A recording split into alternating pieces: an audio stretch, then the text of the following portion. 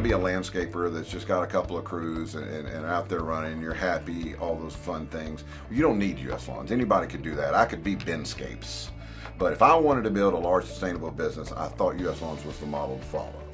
And so when I started in with them, they gave me all the tools I needed from a marketing aspect, from the financial aspect, from the support aspect, all the buying power that you have, and uh, the employee training. And it's not like that you have a lot, have to have a lot of landscape experience to do it. I mean, this is a business more than a landscape. We've added a crew or two per year, and I'm 14 years in this, and we're running out uh, 10 maintenance crews, three irrigation trucks, one spray truck, two enhancement trucks, and four manager trucks all these people that I've met that have been extremely successful in U.S. Lawns, I think no matter what they did in life, they were going to be successful. They had that, but U.S. Lawns was their vehicle.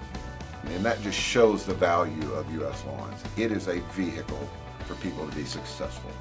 If I'm going to be successful, I've got to have a good team under me. First guy I hired 14 years ago, he's still here. The second guy I hired 14 years ago, he's still here. They are vital. They are so important to this operation. I will do anything for these guys, and I think they do anything for me too. And we are all proud of what we've built. You're only as good as those guys are. The guys that our customers see every day, the guys that are out in the field that are driving those trucks, they represent U.S. Lawns.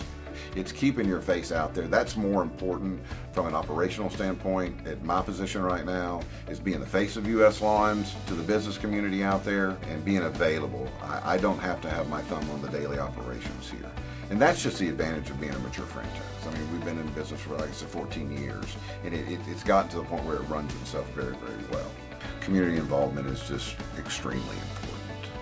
Uh, you've got to be a part of your community. That's where work comes from. I'm selling you a service that you need.